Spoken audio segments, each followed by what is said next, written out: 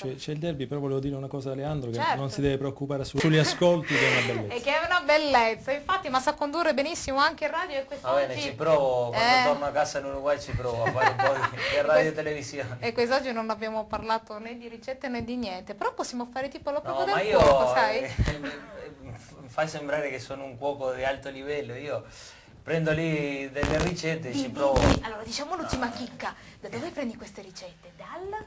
No, eh, dalla pasta, dalla varilla, e quindi... Le ricette e poi che qualcuna che vedo lì... le scatole della pasta. Eh, Eh, assolutamente. e le provi. Però mi vengono bene, quindi... No, darei e una- qualche ricetta anche tipo la nonna di Mocavero mi ha detto fa così cos'ha e io ho fatto.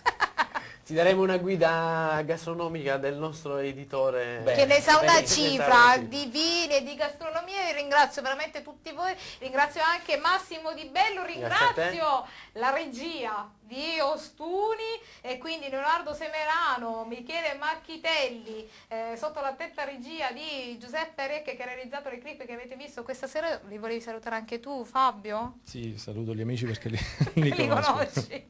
E vi ricordo gli appuntamenti sportivi con eh, TRCB, con eh, Cristina Cavallo giovedì sera, con Dallo Stadio allo studio con il football 1912 alle ore 21, ma poi anche lunedì con Ed è Gol, sempre alle ore 21 per parlare di calcio della Serie D e anche della, eh, dell'eccellenza. La replica di questa puntata giovedì alle ore 23.10, tutte le puntate sono raccolte su www.tempisupplementari.com. Noi ci ritroviamo martedì prossimo, buona serata a tutti. Buonasera.